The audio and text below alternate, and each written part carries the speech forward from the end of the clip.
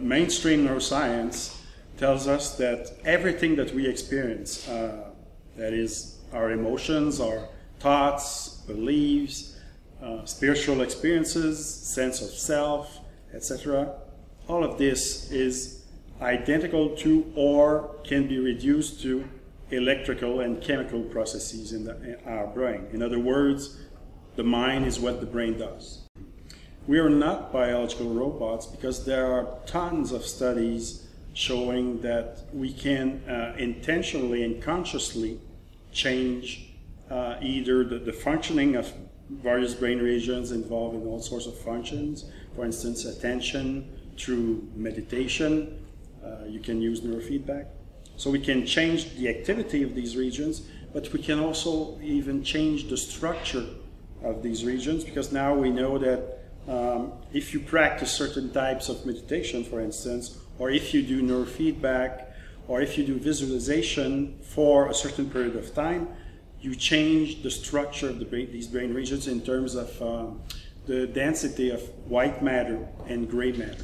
So, so there are many different ways uh, in which mind can influence brain. The placebo effect is a perfect example because the placebo is based upon beliefs and expectations about a fake treatment, a treatment that is not effective from a medical perspective.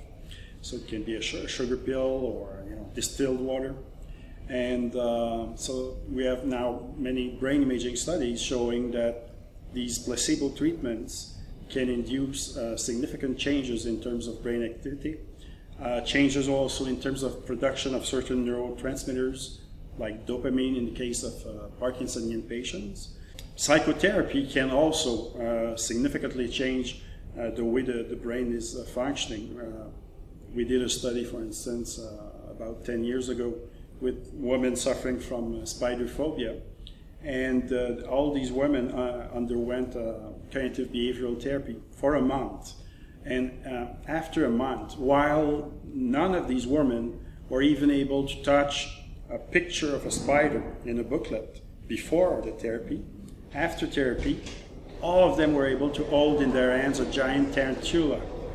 And we scanned them with fMRI. And so uh, we were presenting to them uh, film excerpts of spiders in motion.